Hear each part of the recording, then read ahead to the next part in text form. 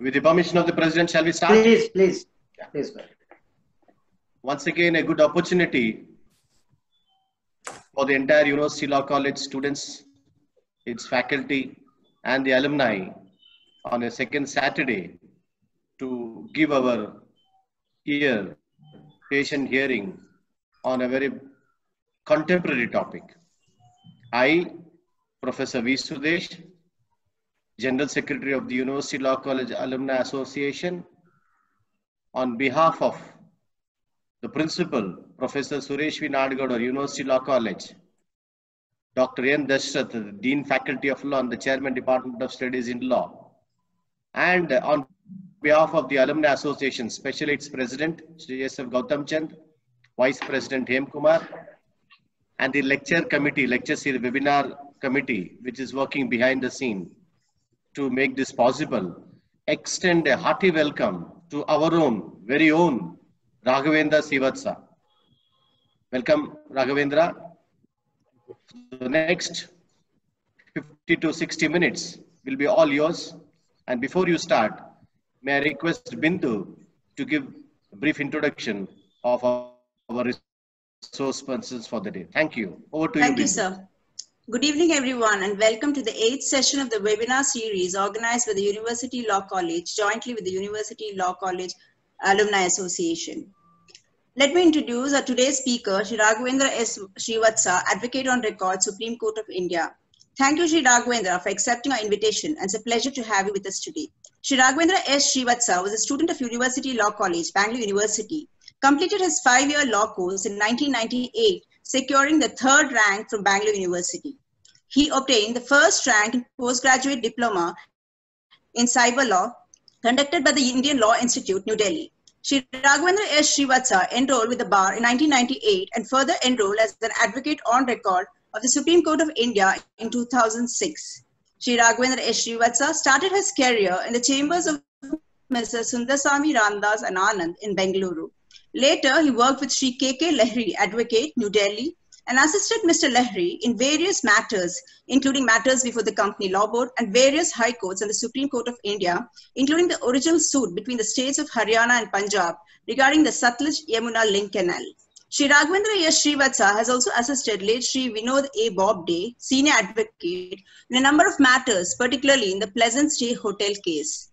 Currently practicing before the Apex Court, Sri Raghavendra S. Is independently handling work for various business entities, individual clients, and public authorities like the Karnataka Power Transmission Corporation Limited, Bangalore Electricity Supply Company, and other electricity distribution companies. Further, he is representing the Hampi Heritage Area Management Authority before the Supreme Court and the High Court appeared on behalf of the KMF in the Nandini trademark case before the Supreme Court and also appearing on behalf of the Supreme Court Legal Services Committee in a wide variety of matters. Sri Raghavendra. Srivatsa has also various legal publications to his credit. To name a few, he has presented a paper on the role of the traditional legal system in the promotion of culture of peace in the symposium on UNESCO's Culture of Peace. He is the author of a paper, The Information Technology Act, a curtain raiser, published in the Indian Law Reports Karnataka in 2000. Further, he has been writing articles in legal journals and recently for some Karnataka uh, Kannada newspapers on topics of current interest.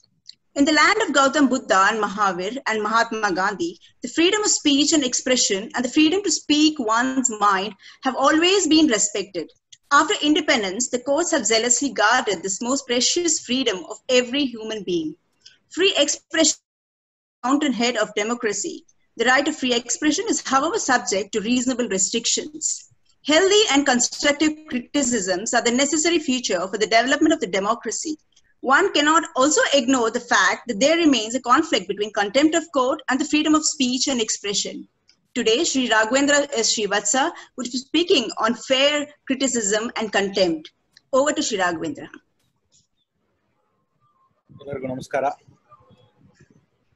i prefer to begin in kannada. This, is a sense of homecoming for me. Thank you very much dr v. Sudesh sri gautam chand the organizing committee, the executive committee of the Alumni Association, and all those who have made this possible. My heartiest greetings to all of you and congratulations on uh, organizing such a wonderful and uh, uh, useful exercise, academic exercise. In fact, uh, sitting in Delhi, I've been able to connect with uh, all my uh, colleagues and friends. And you have chosen a very, very current topic. In fact, it is so current that in the last one hour, I have been receiving messages from the Supreme Court because the uh, petition challenging constitutional validity of some of these provisions of the Contempt of Courts Act are to be listed before the Supreme Court on Monday. And uh, as we all know, a particular bench had been hearing uh, matters that have, uh, in fact, created uh, quite a furor in the last few weeks. And uh, just before I logged into this webinar, I got a message that because the court had asked for an explanation why it was not listed before the regular bench, the registry had to delete it. So, so much is happening on this front. And as ever, ULC is in the forefront and it has chosen a very, very current topic. And I congratulate all of you. In fact, uh, when uh, the choice of topic was uh, discussed with me, uh, I would have preferred to name it fair comment and contempt because that is the uh, wording in section 5 of the contempt of courts act but you know the heading says fair criticism and fair criticism i think uh, is apt because it subs- subsumes uh, general comment as well so there we are and uh, as we start i'd like to start with uh, one of the many anecdotes that we've all been hearing about uh, the inimitable C.K. Daphtary, first Solicitor General of India and then the Attorney General for India. Mr. Daphtary was arguing a matter before a constitution bench. And uh, the Chief Justice was giving him a hard time. And all of a sudden, lights in the courtroom went off. And the Chief Justice remarked, Look, Mr. Daphtary, where, have where your arguments have led us just as he was about to reply, one lamp on the judge's desk started flickering. And Mr. Daphtary immediately remarked, The light has come, my lords, where it is needed the most. So, in the same spirit, let us look for that light today in the course of our discussion. I will make a sincere attempt to share my thoughts with all of you it is a daunting task for me because I have my teachers, my seniors, my peers, and uh, people who joined the college after I have left. So it's a great opportunity for me. So with that thought in mind, let us examine uh, what is all this about fair comment and contempt of court. Broadly speaking, it is a very delicate exercise of striking a balance between the freedom of speech and expression, as Bindu put it,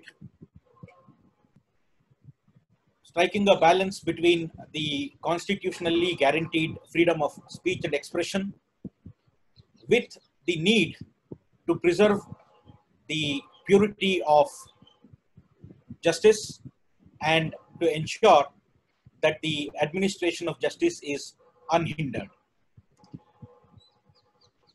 In the last few weeks, for whatever reasons, we have been inundated with talk of the concept of scandalizing the court having become obsolete, the offense of scandalizing the court having been abolished in as conservative a country as the United Kingdom. We've also been filled with quotes from Lord Denning in the Blackburn case, and of course, the very famous view taken by Lord Templeman, where uh, the three judges were uh, depicted as shown uh, hung downwards, and the picture said, Three old fools. So Lord Templeman said, uh, Well, we are old and we are three, and whether we are fools or not is a matter of perception. So, the last few weeks, I think we've been inundated with these thoughts, and references to these have become cliche. So, I would rather prefer to start with an analysis of how the thought of contempt and the need to regulate speech has emanated in American jurisprudence. Because here we are in the midst of the spectrum. On the one end of the spectrum, we have the American jurisprudence where there is the Bill of Rights. The First Amendment is an injunction against the Congress that Congress shall make no law which will have the effect of abridging the right of freedom, freedom of speech and freedom of the press. And there is no restriction. It's virtually sky is the limit. On the other end of the spectrum, we have the English constitutional system, which is governed by an unwritten constitution. But as we all know, conservative century and a half, this concept of scandalizing the system was held to have become obsolete even in such a conservative legal system. And we in India fit in somewhere in between these two extremes. We have a written constitution, we have a Bill of Rights, and mind you, we have Article 19.2, which prescribes the mode and method in which the freedom of speech and expression can be regulated. And contempt of court is one of the specific aspects mentioned in Article 19.2. So here we are, paused between these two extreme points of view. So to begin with the American jurisprudence on this branch of law, early on in the uh, 20th century, Toledo was uh, one of the first cases in uh, 1918, Toledo versus uh, United States, Toledo Newspaper Company, where the Supreme Court of the United States was called upon to decide whether publication of uh, certain information about a pending case and making comments against the judiciary would attract action in contempt. And the Supreme Court took the view that it is not actual prejudice or damage caused to the institution, but the potential potentiality of causing damage. Now, that view of the US Supreme Court in Toledo was quickly overturned in 1941 in Nye.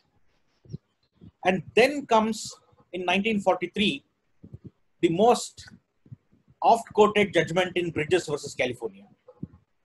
In fact, quite along with Lord Denning and Lord Templeman, we've been hearing about Bridges versus California. The point that I would like to make here is that despite having a very, very liberal system of free speech and expression with virtually no limits, even in the United States, the need to regulate speech when it comes to pending legal proceedings and the discharge of judicial functions has been recognized. Now I'll come to that as I narrate a few cases in as, as far as possible in chronological order. So therefore here we come to 1936 where uh, 1943 Bridges versus California. Now, this was a case where a labor leader made comments and warned the court not to implement a particular decision. And then, when certain people were to be uh, released or proposed to be released on probation, the expression used was you are seeking to release labor guerrillas on probation. So this matter ultimately reached the Supreme Court. Justice Hugo Black took the uh, lead. He gave the majority opinion. And this is where the, the popular belief stems from. The popular belief is that in the US, it is the clear and present danger and not the likelihood or tendency that is the conclusive test. So this judgment of Justice Hugo Black in Bridges versus California is where Justice Black took the extreme position that the power to deal with contempt is subject to the freedom of speech and expression in the First Amendment. Now, please appreciate this. In our system, we have Article 19.2, which makes freedom of speech subject to the law of contempt. And it's exactly diametrically the opposite in the United States. Despite this extreme position taken by Justice Hugo Black, the dissenting opinion of Justice Felix Frankfurter in Bridges versus California gained currency in later days. Felix Frankfurter expressed his reservations about this extreme position taken by Justice Hugo Black. And he said that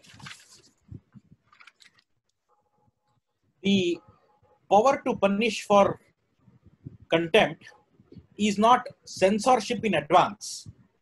He said it is punishment for an act already done.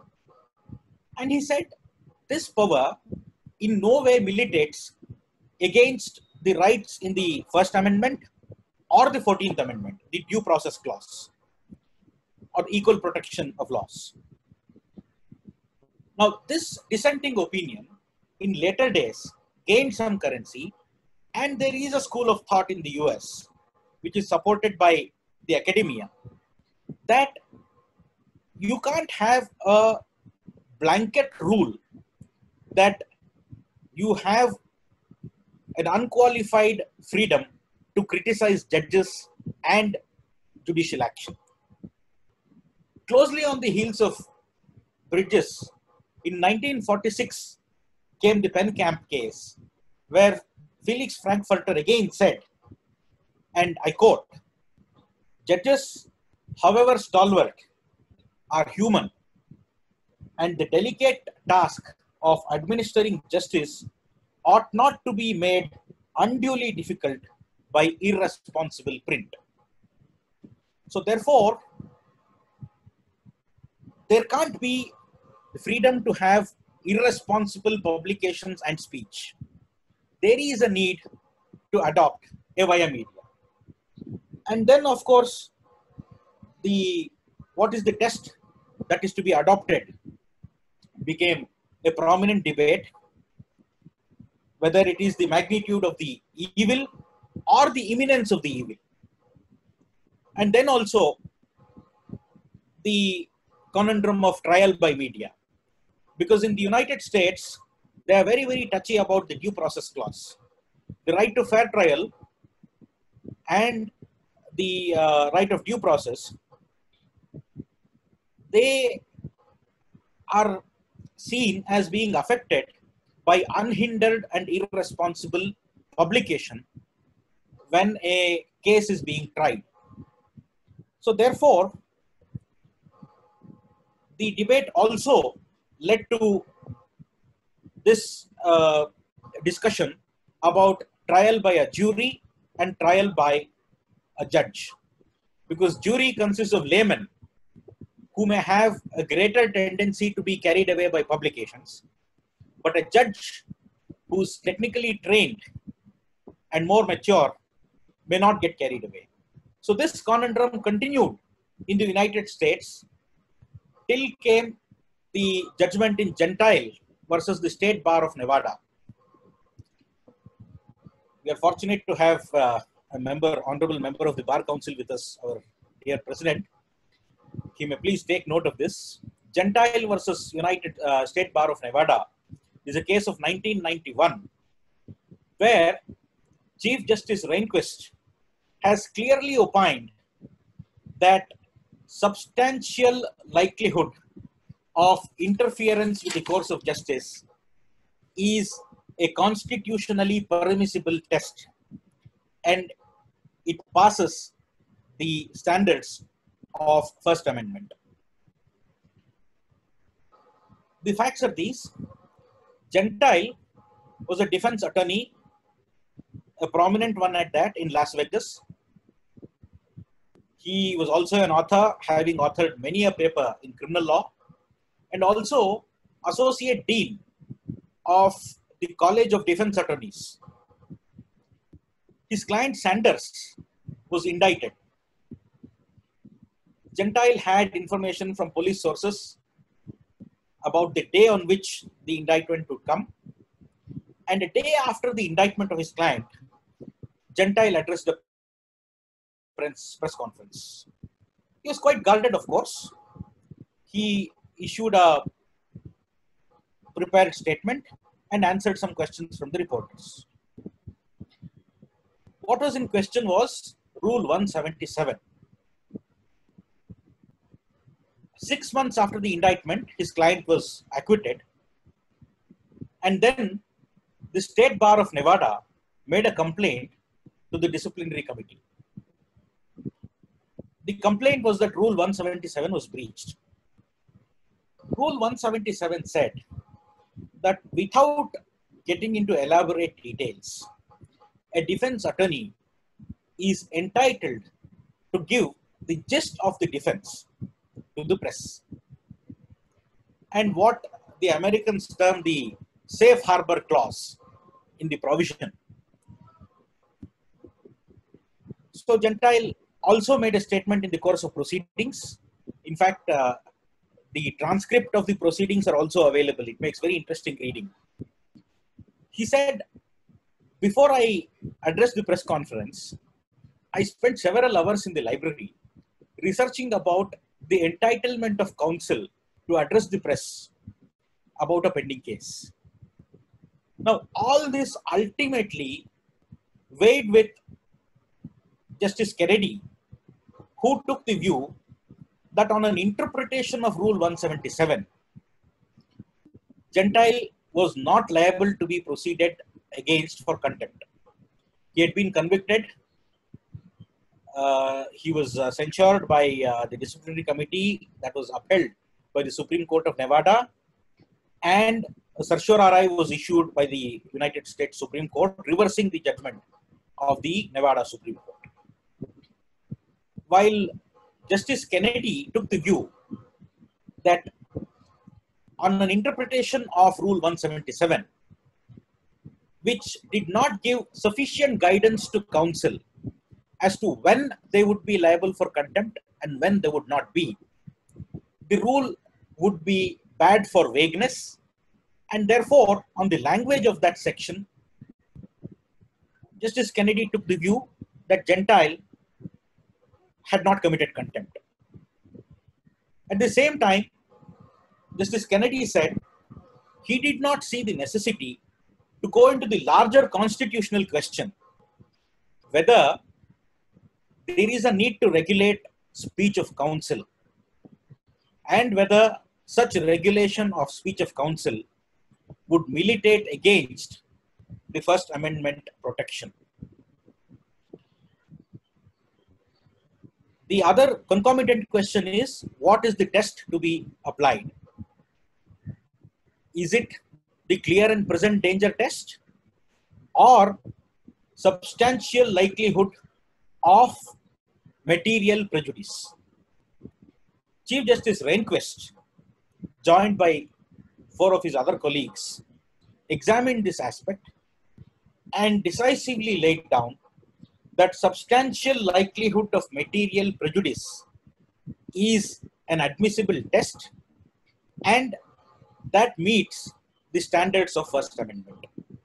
So therefore, this is how the law in the United States developed right from the beginning of the 20th century till the uh, early 90s. Before I move on to the British system, and part with the American system, I might just share one very interesting thing that happened where a federal judge, James Peck, had hauled up a lawyer. His name was Lawless. He was hauled up for contempt. And this lawyer appealed to the House of Representatives and called for an impeachment motion against the federal judge James Peck. The impeachment motion was actually taken up. However, the judge was lucky that the impeachment motion was defeated by a narrow margin. But what is important to note is the Americans treat this as so valuable that the charges, articles of charge in the impeachment motion against Judge Peck were that by initiating contempt, he had actually tried to suppress fundamental freedoms that are guaranteed under the Constitution to the people of the United States. So that is how dearly they uh, uh, treat the freedom of speech and expression. Then we come to the body of law in England. As far back as in uh, the 12th century, there was a very peculiar incident where uh, Chief Justice Holt was summoned by the House of Lords to explain one of his judgments. Chief Justice Holt refused to do so. And in his speech, he said, My judgment can be questioned in a manner known question for my judgment. So that is the level of freedom and fearlessness that a judge should possess. And this was as far back as in the 12th century. And then, of course, several changes took place. And then Magna Carta in 1215. We come straight to the 19th century, the late 19th century. Privy Council had an occasion to decide a case in St. Aubyn, McLeod versus St. Aubyn. Now, this is where uh, what I regard as a very uh, racial and abhorring statement comes, where they said that the offense of scandalizing the court is no longer relevant to Britain. However, it is still very important to small colonies inhabited mostly by colored inhabitants.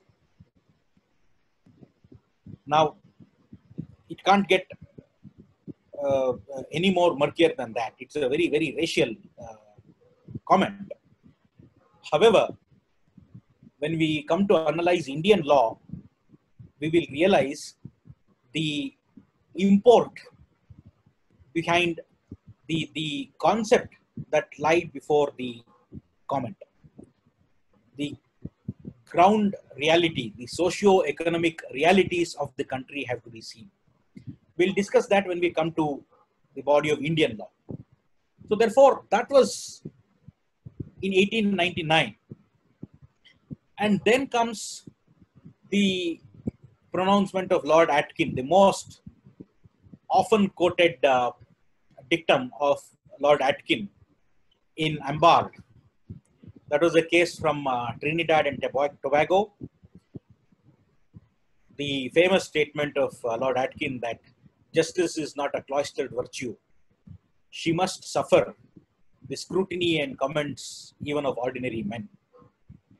Now, all this is being championed in the last few weeks in India.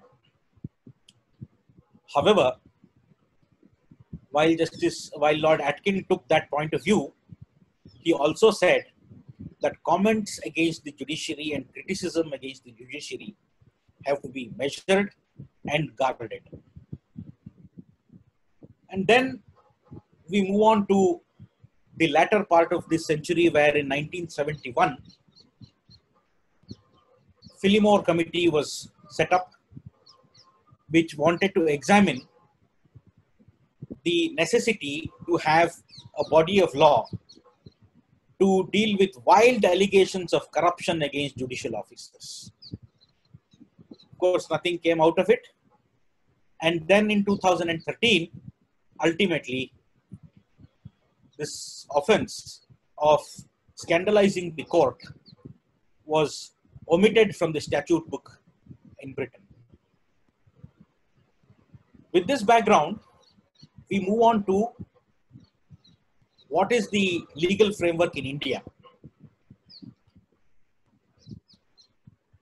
I think it's important to begin by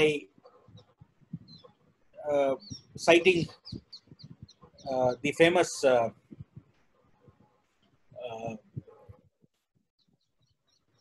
case in 1969, perspective publications case, where the Supreme Court has clearly taken the view that whatever be the position in other countries, in India, we have the law of contempt codified and the offense of scandalizing the court cannot be said to be obsolete as far as India is concerned. So before looking at what the Supreme Court said in perspective uh, publications, a brief look at the provisions of the Contempt of Courts Act. Now, Section 2C is what really we are concerned with today, which defines criminal contempt. Section 3, Sections 5 and 13, 4 and 13. Now, what is the test that comes out of the statute? Like in the US, the popular belief is that it is clear and present danger and not just likelihood.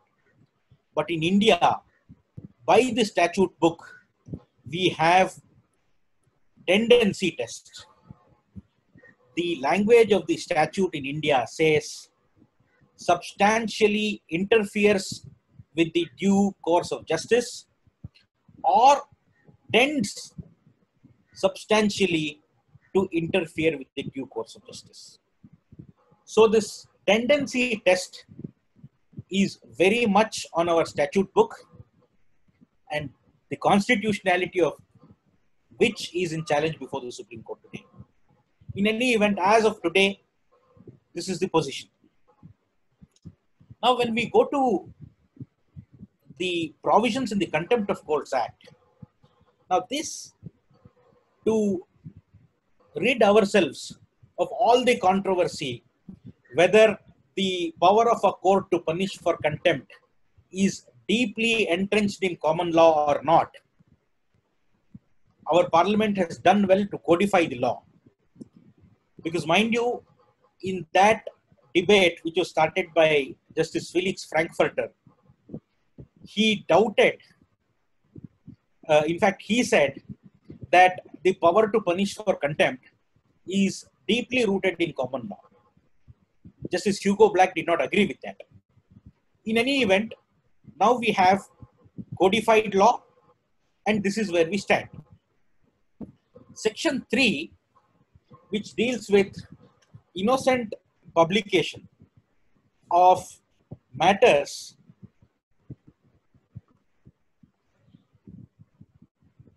creates an exception to the rule of contempt. The requirement is that the person making the publication should have reasonable grounds to believe that proceedings were not pending. Now we look at the explanation to section 3. When is a legal proceeding, be it a civil case or a criminal case, deemed to be pending? Not so much in civil cases, but in criminal cases, publication will have a large impact. Again, to invoke Felix Frankfurter, however stalwart the judges might be, they are still human. So therefore, publication will definitely impact pending cases. Now, when is a case deemed to be pending. The explanation to section 3 says in a criminal case, when a charge sheet is filed, a criminal case is deemed to be pending. In 1969 came the A.K. Gopalan case, where the Supreme Court said that you needn't wait for a charge sheet to be presented. The moment an accused is arrested, proceedings in criminal court are seen to have commenced. Because the accused will be produced before the magistrate, there will be proceedings for remand, custody, etc., etc. So therefore, proceedings are deemed to have commenced even with the arrest of an accused. Based on this judgment of 1969 in A.K. Gopalan, in 2006, the Law Commission made a recommendation to the Parliament to suitably amend Section 3, the explanation to Section 3. However, the recommendation has not been acted upon. And then comes Section 4, fair and accurate report of judicial proceedings, fair and accurate reporting of judicial proceedings at any stage. Now, the operative words are fair and accurate reporting.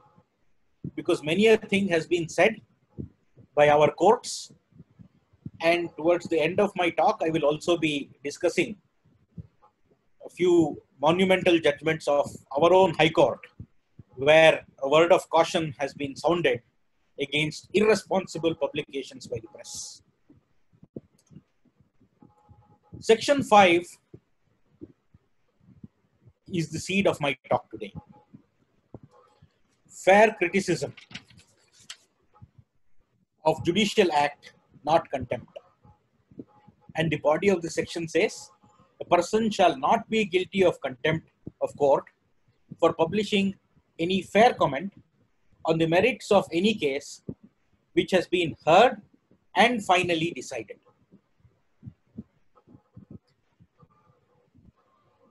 It says heard and finally decided we spoke of the explanation to section 3 it not only talks of when a proceeding is deemed to have been pending, but it also says when it has attained finality. If there is an appeal or a revision provided for by the law, and the limitation for such appeal or revision has not expired, it is still treated to be pending. The bar against publication applies. With this statutory framework, let us look at the famous case of perspective publications 1969 now that was a case where scurrilous allegations were made against justice tarkunde of the bombay high court there was a very famous uh, defamation case it was uh, known as the uh, Blitz Thackeray dispute. And a decree for 3 lakh was granted on the original side of the Bombay High Court by Justice Tarkunde. And this publication made allegations against Justice Tarkunde and said a particular firm in which Justice Tarkunde's father was a partner had been granted a loan of 10 lakhs. And one of the relatives of this Thackeray was a director in the bank who had recommended grant of loan, so on and so forth. Scurrilous allegations were made. Reliance was placed on this body of English law. American law was also invoked. And the Supreme Court, in one stroke, said, You forget principles of American law. We have always been going by principles that were expounded in English law. And as on today, we are not following them as well. And that is where the Supreme Court has clearly laid down, and it's a judgment of three honorable judges. Justice A.N. Grover, speaking for the court, has clearly said that the offense of scandalizing the court cannot be said to be obsolete in India. Not much was said about the Contempt of Courts Act, why it was enacted, and all that. All that has been discussed in a few cases down the line. And after this comes the case of a judicial officer from Orissa, Bharadakant Mishra, in 1974. Subjected to disciplinary action, he made an appeal on the administrative side to the High Court. And then in that appeal, he made a lot of allegations against the High Court. One of the questions was when you espouse your cause by way of an appeal or a representation, are you entitled to make these allegations? And when you make allegations against the High Court in its administrative capacity, are you still liable for contempt? The majority took the view that there is not much of a distinction between administrative and judicial functions because they are almost intermingled. The minority consisting of Justices Krishna Iyer and Bhagavati dissented only on that point. However, they said making scurrilous allegations against the High Court, even in a pleading of appeal or representation, would amount to contempt and criminal contempt at that. And then comes the case of a defense lawyer in India. We spoke of a defense attorney in the US, and then comes Ram Dayal Markarha in 1978, where a defense attorney who lost a case before the magistrate got his client acquitted before the sessions court. After the acquittal, he circulated a pamphlet making all kinds of allegations against the magistrate who had convicted his client. The High Court, this is a case from Madhya Pradesh, and the High Court constituted a special bench, and the lawyer was held liable for contempt and he was convicted and sentenced. The lawyer appealed to the Supreme Court, so a statutory appeal under the Contempt of Courts Act, appeared in person and argued his own case. He made certain crucial arguments touching upon the constitutional aspect of it. He said he has a fundamental right to speech and the right of fair criticism under Section 5 is very much available to him, and therefore his pamphlet did not amount to contempt of court. The other argument that he raised was that under Section 13 of the Contempt of Courts Act, unless it is shown that his act caused any obstruction in the course of justice or had the tendency to cause such obstruction, he was not liable to be punished for contempt. Both his arguments were repelled, and the reasoning is this, and this is very, very important because we will have to see the law of contempt qua free speech from this point of view. The court said the first argument is not available to him because the appeal was allowed and his client was acquitted. The state had a right to appeal against that to the High Court. And this act of circulating a pamphlet making allegations and scandalizing the magistrate was intended to prevent an appeal by the state to the High Court. Number two, the proceedings were still pending because according to explanation to section 3, the appeal or revision was still alive. On the aspect of exemption under section 13, the court said you can't look at this act of circulating a pamphlet in a mofussil town in Madhya Pradesh dehors the ground realities of the state.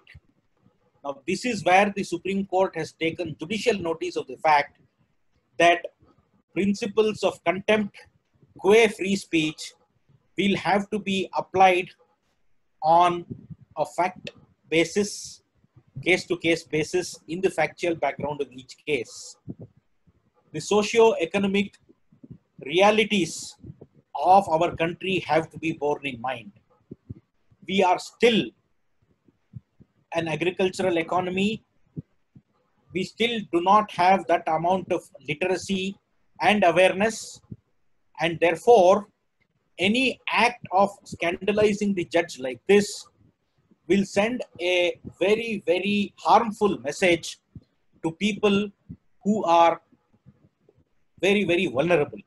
And the Supreme Court uses the word the susceptibilities of this composition of our population is unique because of illiteracy, poverty, ignorance. The susceptibilities are different, and therefore, any act of speech on the tested on the uh, anvil of contempt will have to be looked at from this point of view. So, on this reasoning, the conviction for contempt was upheld. However, the sentence was reduced. And then, of course, we have Arundhati Roy in 2002. I will make a very brief mention because the principles are reiterated over and again. But Arundhati Roy becomes very important because Justice R.P. Sethi, speaking for the court, has clearly said that the Contempt of Courts Act was enacted by the Parliament after taking note of the developments and trends in other countries and having in mind the socio-economic realities of our country. So this is the first recognition of why the contempt of court as contempt of courts act as it stands today exists on the statute book. Then of course we have any number of cases, Rajendra Sail in 2005, and one case deserves a mention in 2017, where an advocate on record of the Supreme Court was hauled up for contempt. He made a mention to the court, making allegations, and the court reminded that the uh, lawyers have to behave responsibly, and more than that, it's a special privilege conferred on an advocate on record, and you're an officer of the court. So, therefore, you can't indulge in irresponsible speech only to espouse the cause of your client. The important aspect to be noted is there again allegations were made against the registry of the court. And please note this in the last three, four days, we have been hearing about another case which has now attained closure in the Supreme Court the case of uh, Mr. Yatin Oza, the president of the Gujarat High Court uh, Bar Association, who was hauled up for contempt for making allegations against the registry and the High Court in the matter of listing of cases. His designation as a senior advocate has been withdrawn by the Gujarat High Court. So that was also a case where allegations were made against the registry. So therefore, this is a pointer to all of us as lawyers that we have to be respectful and mindful when we make allegations or when we make complaints against the registry also. So far, we dealt with Indian cases where the court has taken the view that the act complained of amounted to contempt and free speech was not a defense. Then we come to cases where our court has taken the view that you are entitled to exercise your right of free speech. And when does it amount to fair criticism or fair comment? It's very interesting to note that Chief Justice E.S. Venkataramiah was a respondent in a contempt petition.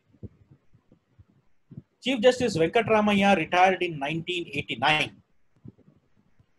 And on the eve of his retirement, he gave an interview to Kuldip Nayar, the renowned journalist.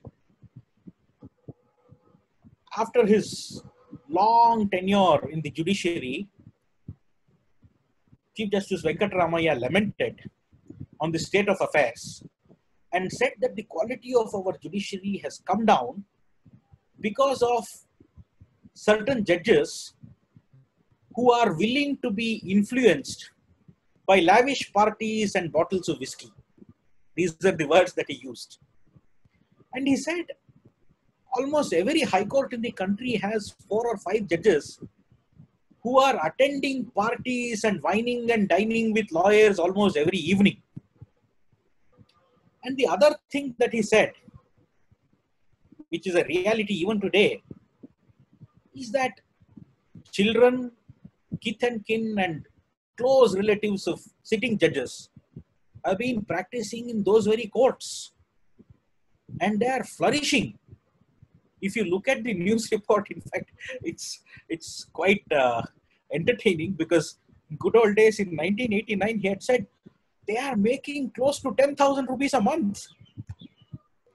So this kind of a problem was discussed by the legendary Chief Justice and promptly a contempt petition was filed in the Nagpur bench of the Bombay High Court. The petition was dismissed on two counts. The Advocate General of Maharashtra appeared and said, I have not given consent. He is seeking to prosecute the former Chief Justice and Kuldip Nayar for criminal contempt. I have not given consent.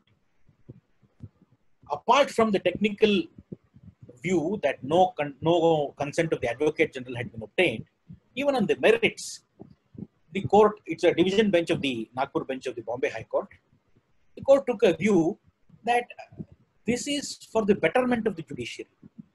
Coming from a veteran who had just laid down office as Chief Justice of India, we have to look at it constructively.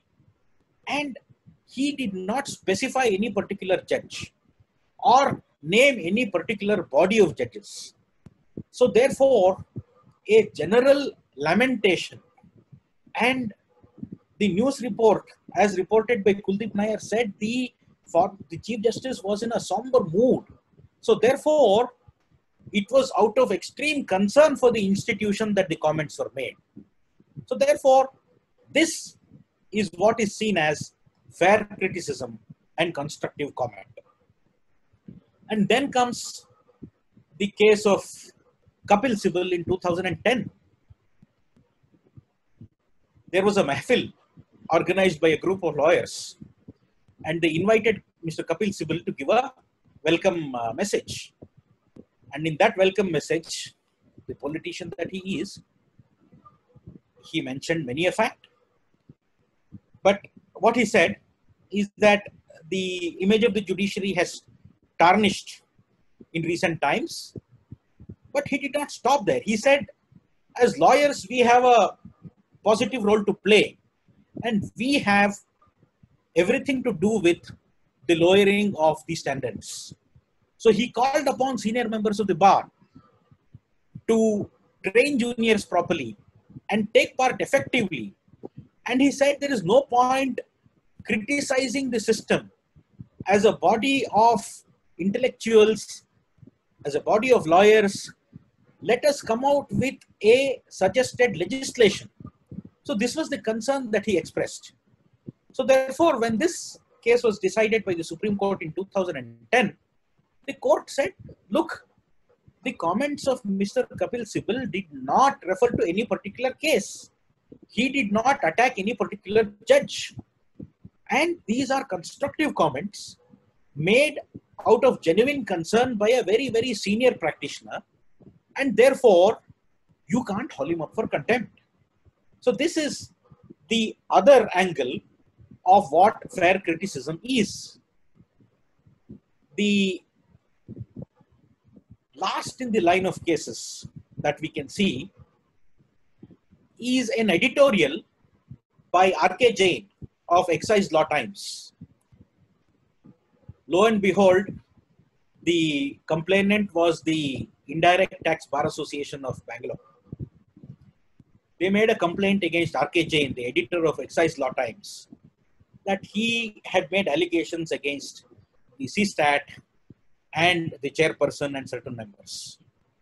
And this is a case where the Supreme Court took a very, very firm view and said this is a whistleblower who's trying to expose black sheep in the system, and the court went on to impose exemplary costs. So, when it is balanced, constructive, not targeting any particular judge or speaking about a particular case, it is constructive and it is surely fair comment. So, this being the gamut of what is fair criticism and comment, we can now move on to a couple of important cases from our own state. And before that, I think uh, we all deserve something in lighter vein. We spoke of uh, CK Daphtary right at the beginning. And we are, after all, talking of fair criticism and fair comment. And Mr. Daphtary was known for his wit and humor.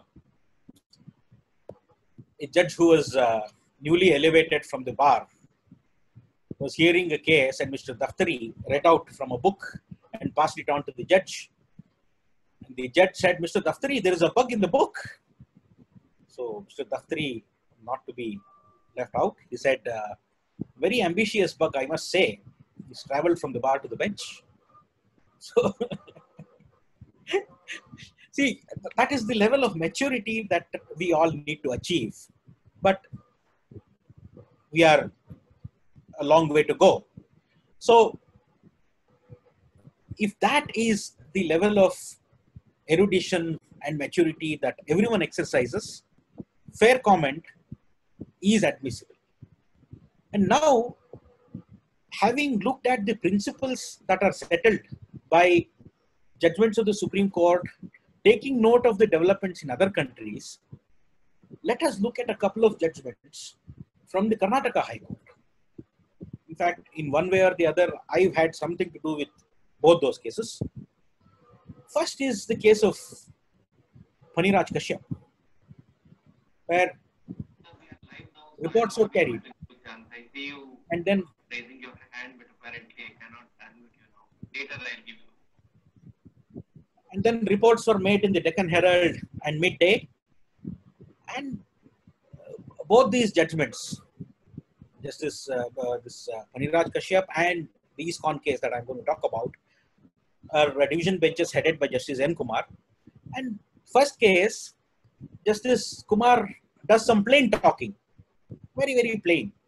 And he says, look, it is not targeting any particular judge if the person concerned or even the honorable judge feels that he is defamed, it is open to, to, to him to take action in uh, ordinary law, civil or criminal. But how is it contempt? Criminal contempt at that. And secondly, very important thing that Justice Kumar has said in that judgment, that the searchlight has to be turned inwards. As a fraternity of lawyers and judges, as a collective fraternity, we all need to introspect. And Justice Kumar has also added a word of caution to the relatives of honorable judges as to how responsibly they should utilize the privileges that are granted to them. The long and short of this is judges do not need protection. It is the system of administration of justice that needs to be insulated from irresponsible attacks. So this principle has been driven home by Justice Kumar very effectively. Having looked at that, I think it's time to say Hare Krishna. So in ISKCON, there were many, many, many angles of contempt law that came up for discussion. I was representing a very eminent senior advocate who was hauled up for contempt. And of course, uh, there was a difference of opinion among two between two judges of the division bench it was referred to a third judge. Just as an aside, I must share uh, a personal experience.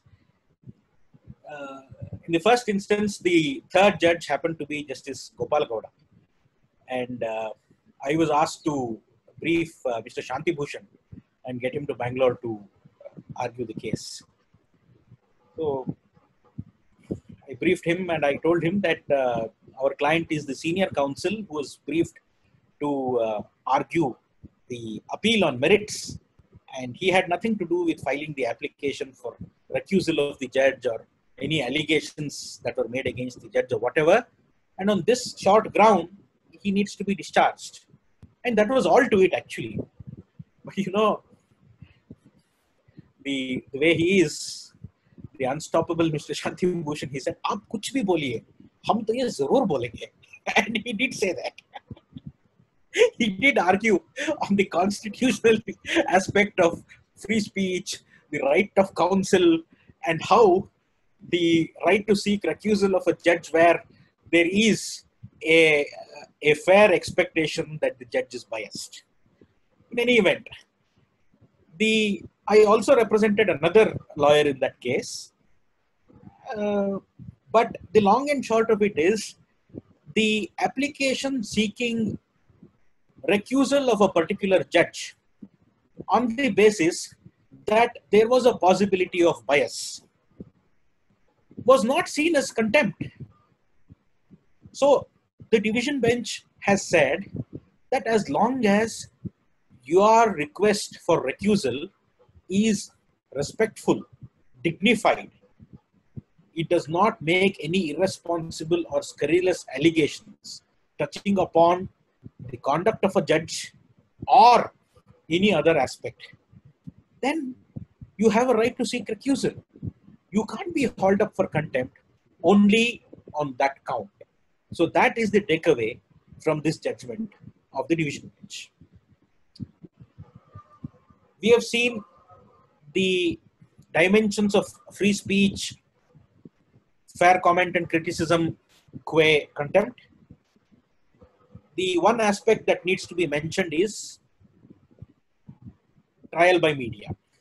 Now, trial by media is something that has a scientific basis. A Canadian psychologist has actually done a scientific study and he relies on a survey conducted in California about how publications, when a case is pending trial, can influence jurors and judges. And when we come to this, Lord Denning had once said that judges do not get carried away by publications. They're mature enough. But this view was not accepted in later judgments in England. The later judgments in England said the judges are also humans. So this was uh, Lord Dilhorne, and he said there is no judicial superiority over human frailty. No judicial superiority over human frailty. And even uh, Benjamin Cardozo, in his uh, judicial process, he has discussed this as a topic and he calls it the subconscious element in judicial process. So therefore, subconsciously, it is possible for judges to be influenced by what they see and hear. And that is where we are today dealing with this problem, conundrum of free speech versus contempt of court. We are speaking of free speech of citizens, maybe lawyers, non-lawyers, social activists, political activists. But what about freedom of the judges? So Lord Denning had something to say about this. Sirros versus Moore. Lord Denning makes a very pregnant statement. That was a case where a judge was sought to be mulcted with uh, damages for a judicial act of his And Lord Denning says, if we keep up this trend, then every judge will have this fear in his mind when he performs his judicial functions. He will be thinking, if I do this, he will have to, he will hold his pen with trembling hands and turn the pages of his books with trembling hands, thinking, if I do this, will I be held liable for damages? So we need to ensure that the judges have that freedom and independence of the judiciary is just another angle of balancing free speech and contempt. Now we come to certain specific instances in recent times. How irresponsibly people have behaved. And the proliferation of social media has done so much of harm, adding to the woes of illiteracy, ignorance, and poverty that we already have, the socio-economic conditions that the Supreme Court has already talked about. See, I want to mention one specific instance, and as a lawyer, I felt very, very deeply concerned about it. We all know Justice Dr. Justice Muralidhar, a fine gentleman and a perfect judge. He took a particular view and he made an order when the anti-CAA protests were going on. I received a forward on WhatsApp which had the picture of some obscure lawyer standing with some politicians. And it said, look here, this is Justice so and so. And what do you expect of him when he performs his judicial functions? Now, is this how we behave? Now, if we give a carte blanche, if we don't have the law of contempt, will there be an end to irresponsible publications like this? And we had this instance of certain sections of the social media and also print media reporting about the Gujarat High Court and Delhi High Court. Certain orders were made by them in respect of COVID relief, pandemic relief by the governments, respective governments. And a few days later, the viewpoint appeared to have changed. And there is widespread publication that there is a change of bench because the court made remarks against the government. No, this is not definitely not responsible at all. So it is this kind of irresponsible behavior that the law of contempt should address. Look at it from the other perspective. How respectful and dignified comment and criticism can be. We read Seervai. He was critical of Justice Bhagavati Nipi Royappa. How dignified and how respectfully he said, the judgment in E.P. Royappa suffers from the logical fallacy of undistributed middle. He says, cats are mammals, dogs are mammals, and therefore, if you apply the logic of Justice Bhagavati in E.P. Royappa, all cats are dogs. Because Justice uh, Bhagavati laid down a blanket principle that anything that is uh, discriminatory is opposed to equality under Article 14. It has to be qualified. So see how how learned and how dignified the criticism is. And we needn't go that far. Back home, we have the recent case of Justice Krishna Dixit. He made certain observations while granting bail. And there was a very, very dignified letter written by Aparna Bhatt. It was received in the right spirit. The observations were expunged and the necessary message went home. So,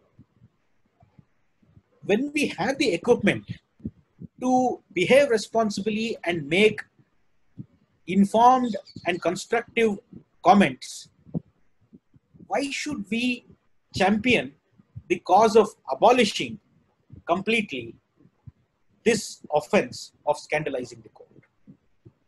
So, in my opinion, the law as it stands codified law as interpreted by the courts is robust.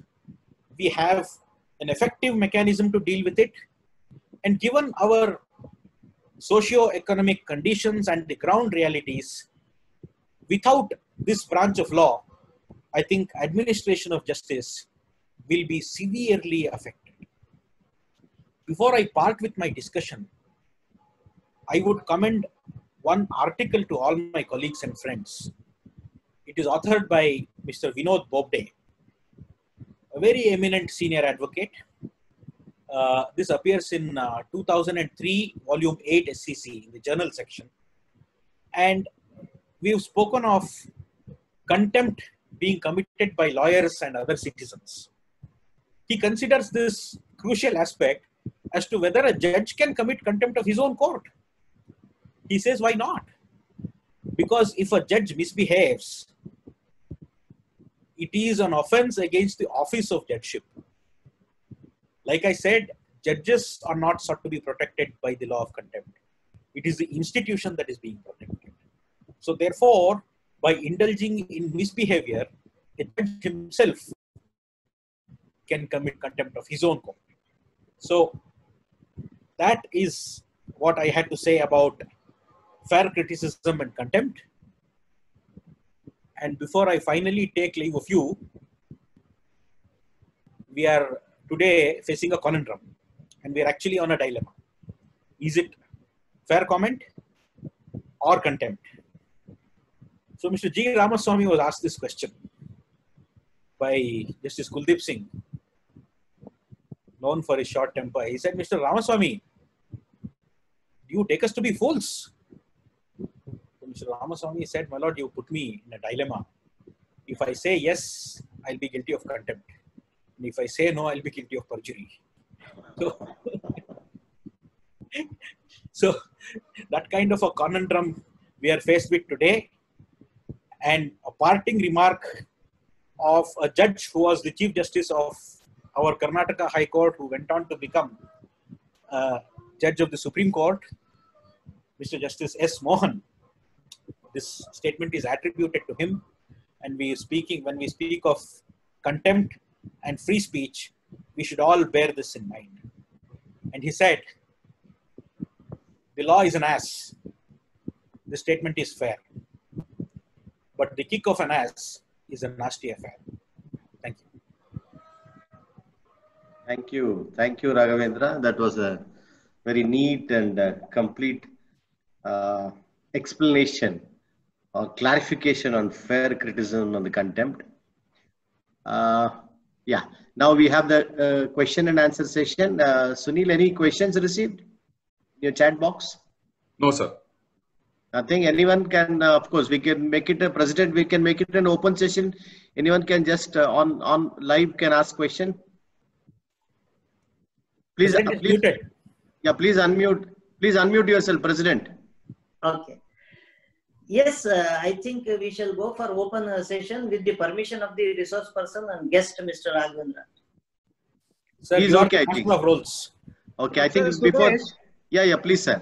Yeah, I this would is our. just like to uh, thank uh, Yeah, Mr. yeah, Raghavendra yeah. for his uh, scholarly presentation.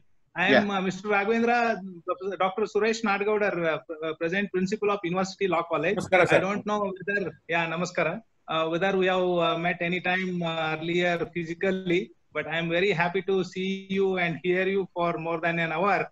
Uh, your uh, very scholarly presentation, it was very clear and uh, candid, as Professor Sudesh has already mentioned, and uh, you have traced the evolution of the law and uh, explained with uh, all the relevant examples. Thank you very much. Thank you. Thank you, sir. Thank you, sir. Yeah, uh, question answer platform is open. Anyone can raise their hand and uh, may directly address the question to Raghavendra and let it be only on the subject that has been discussed just now.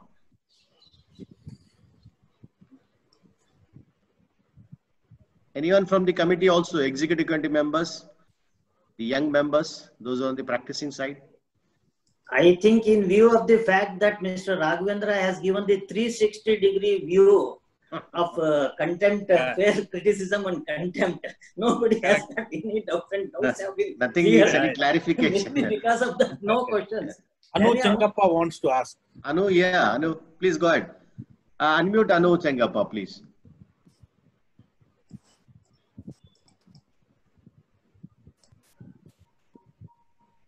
Badri or uh, Sunil can unmute Anu Chengappa. Yes. Hi, Raghavendra. That was a wonderful session. Thank you, Anu. Yeah. So, uh, my question is truth as a defense in contempt.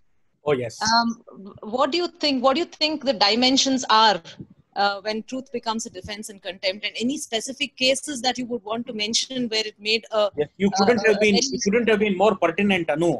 In fact, Yeah. uh, thank you for reminding me. I missed that because I had so much to say that I missed that. You know, uh, truth as a defense uh, came by way of an amendment in 2006, and as far as I could see, there are hardly any cases, at least to the Supreme Court. But in 2020, you know, there is a judgment of 27th April 2020 in the case of uh, Vijay Kurle, uh, Justice Deepak Gupta, just before he demitted office, has delivered a judgment where defense was pleaded as uh, truth was uh, pleaded as a defense, and they've rejected the defense, saying yes, now as per the statute, truth is a defense, but on the facts of that case, they said there is no material to show that whatever you said is truth. so we are yet to evolve in terms of using truth as a defense in contempt. Absolutely. But you know, having said that, if you look at the language of Section 13, uh, although the uh, truth has been added as a defense, uh, it is couched in very guarded language.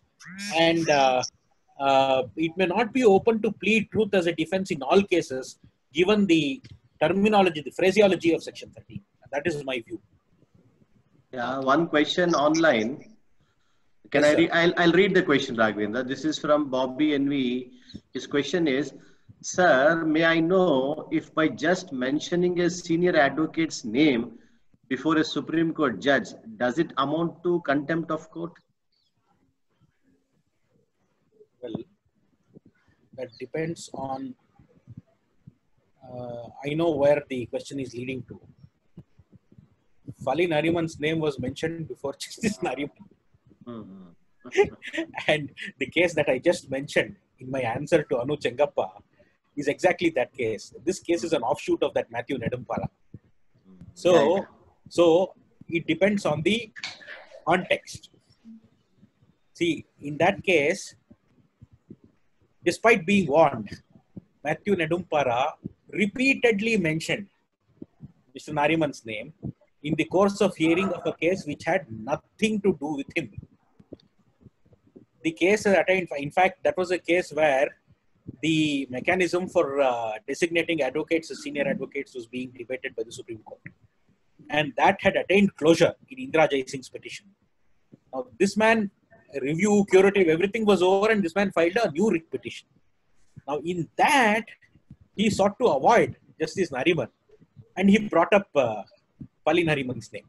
So, in that context, it was considered, and uh, he said, uh, uh, "You got designated only because you are so and so son and all that."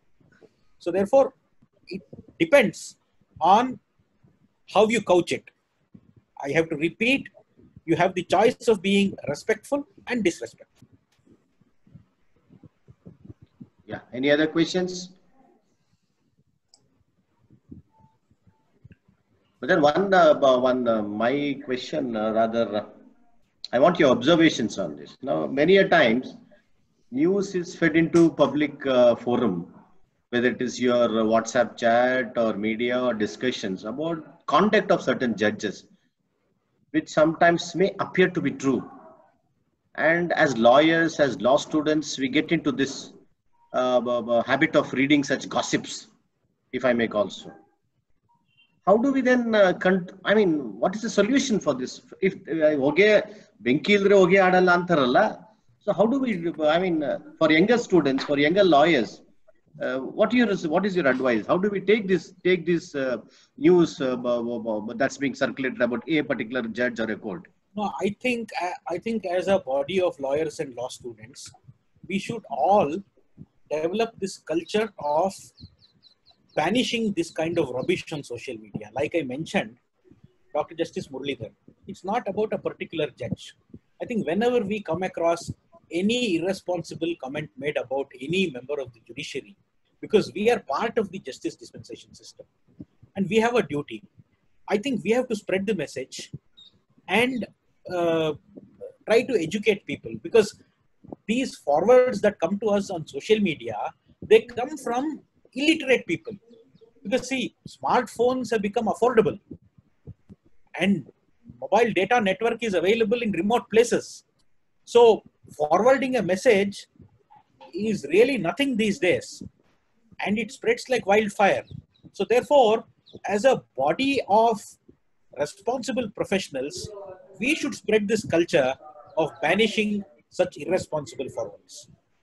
Why I ask this question is because the other day when we had uh, Justice uh, Ravindran in an Advocate Association uh, you know, webinar, ಅಲ್ಲಿ ಅವ್ರು ಹೇಳ್ತಾ ಇದ್ರು see the lawyers have this habit of ಈ judge ಮುಂದೆ ಬಂದು ಹೀಗಾಗುತ್ತೆ ಆ judge ಮುಂದೆ ಬಂದು ಹೀಗಾಗುತ್ತೆ let us wait for judge ಈ ತರ ಸುದ್ದಿಗಳಿಂದಾನೇ maybe probably we get this news ಅಂತ that's why as this question correct no so therefore that is why we have to behave responsibly good thank you Raghavendra, just one, one, one, one second. Raghavendra, I'll just, uh, on the lighter side of it, I'll just ask you a question. Ah. When we had a chat, uh, what is the topic to be, you know, designed as? You said fair comment and contempt. I said, let us go by the section itself. Why, why were you, you know, reluctant to name it as fair criticism and chose fair comment rather? no no see uh, criticism has a negative connotation so let us be positive Okay. Raghavendra, Raghavendra, one, one question from a student here. I don't know how appropriate is this question.